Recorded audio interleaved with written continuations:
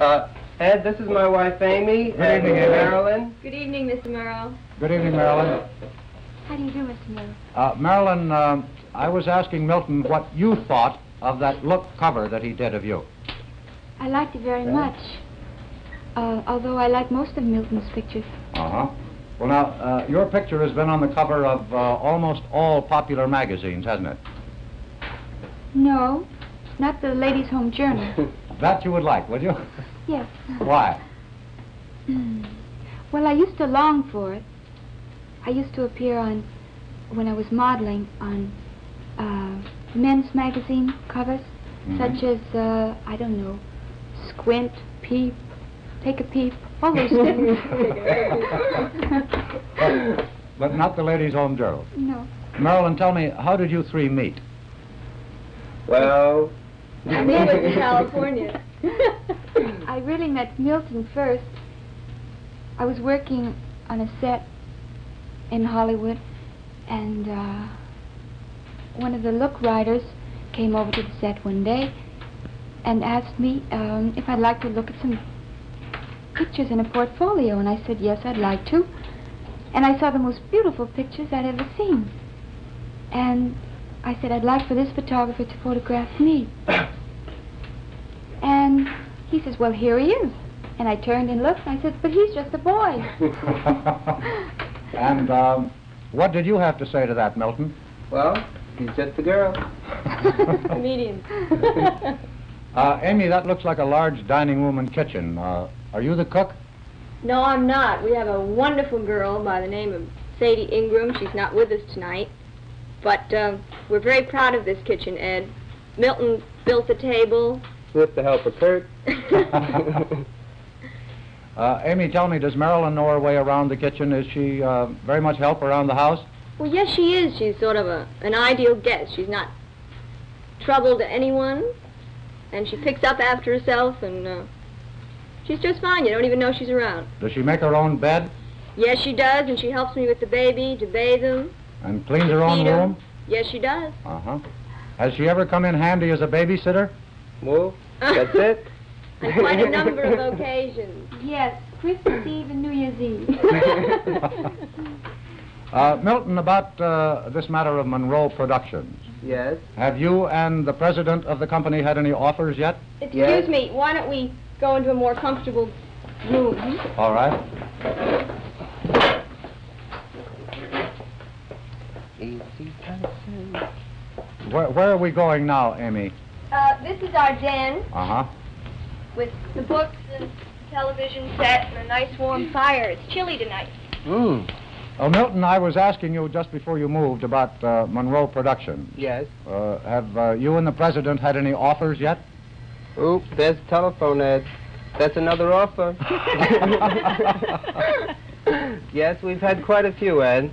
Uh, we had some for TV and the theater uh, in Europe and here.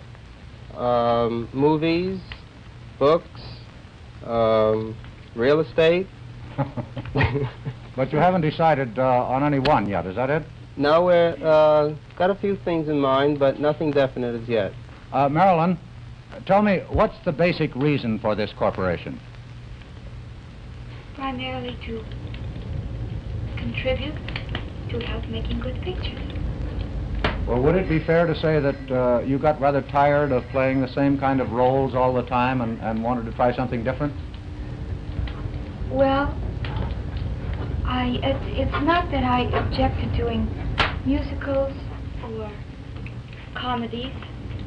In fact, I rather enjoy it. But I would like to do also dramatic parts too. Mm-hmm. Uh, that covers it. Amy, are you in the corporation too? Uh, no, I'm not. I sort of take care of uh, Milton, who's very important, and Josh, Mhm. and That's e- Marilyn. That's even more important, isn't it, Josh? Yes. He's sound Marilyn, asleep, by the way. uh, uh, Marilyn, what's the best part you ever had in a movie? Well, one of the best parts I've ever had was in the Asphalt Jungle, John Huston's picture, and then Seven Year Itch, well, Billy Wilder's picture. You think that's going to be a big one too, don't you? Pardon? You think that's going to be a big one too, don't you? The seven-year itch. Yes, I, I think it'll be a very good picture, and I would like to continue making this type of picture. Well, now, uh, what, what's the smallest part you ever had? Um, two I can think of. One in a picture called Ticket to Tomahawk. I had one word. Well, not exactly a word. I said, mmm.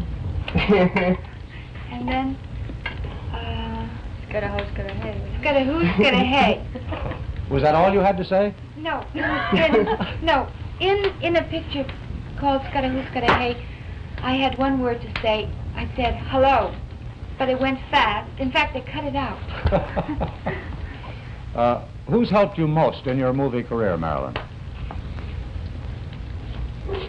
Well, a number, number of people have contributed greatly. Um, I think when John Huston wanted me for the part in Asphalt Jungle, and I think when Billy Wilder wanted me for the part in Seven Year Itch, I think that was very important. Also, working with my coach, Natasha Lytess, she's helped me very much from the very beginning. And I also got a great deal from attending classes with Michael Chekhov. I notice you mentioned two directors. Have you found Huston and Wilder important to you? Yes, very much so. Well, Marilyn, now that, uh, uh, how, how do you mean important? I mean, uh, do you play a part in order to uh, impress them or please them? Definitely. I think when you have a, a very good director, uh, of course you... In fact, I think the story is very important. But even personally, more important to me than the story is the director, because the director usually has a good story. A good director usually has a good story. Um, a director, I think, can contribute a lot because when you feel that when you're acting and the director is with you and not just sitting by as um, just as the audience, Yes. but he's really with you every moment, everything you do. I think it's very important. It has been to me. Well, Marilyn, now that you're a New Yorker, uh, how do you like this city anyway? Oh, I love it. Everyone's very friendly, and it's a very optimistic, friendly city. How do you like Connecticut? I like it. It's the first time I've, I- I'd ever seen the woods. And I love to walk in the woods with the dogs, and I enjoy it. Where are the dogs?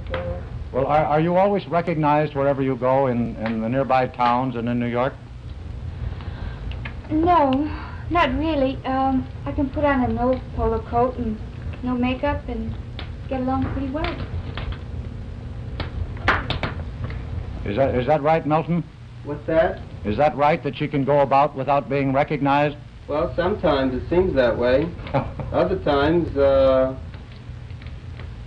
Oh, the funny thing was, remember that day in the taxi oh yes, cab? that's right. Uh, it was when she came to uh, do the window scenes for the seven-year itch, yes. and we were depositing her back at her hotel, and there were about five million people outside. And the taxi cab driver turned around to the three of us, Marilyn in the middle, and said, "Hey, you know who's in there? Marilyn Monroe." Marilyn, I saw some pictures of you the other day uh, riding an elephant at the circus. Did you have fun?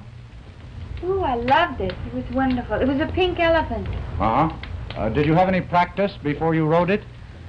No, I hadn't, but I enjoyed it very much.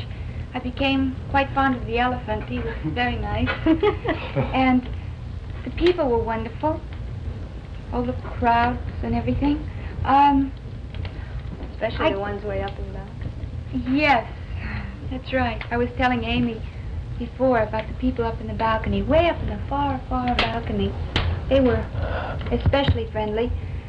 But uh, I think it meant a lot because, probably because I hadn't been to a circus as a kid. Mm-hmm. And I like circuses. I think we all do. Thank you very much, Milton, Amy, and Marilyn, for letting us come and visit you in uh, your home in Connecticut this evening. Good night, Thank Mr. you. Murrow. Good Good night. night, Murrow.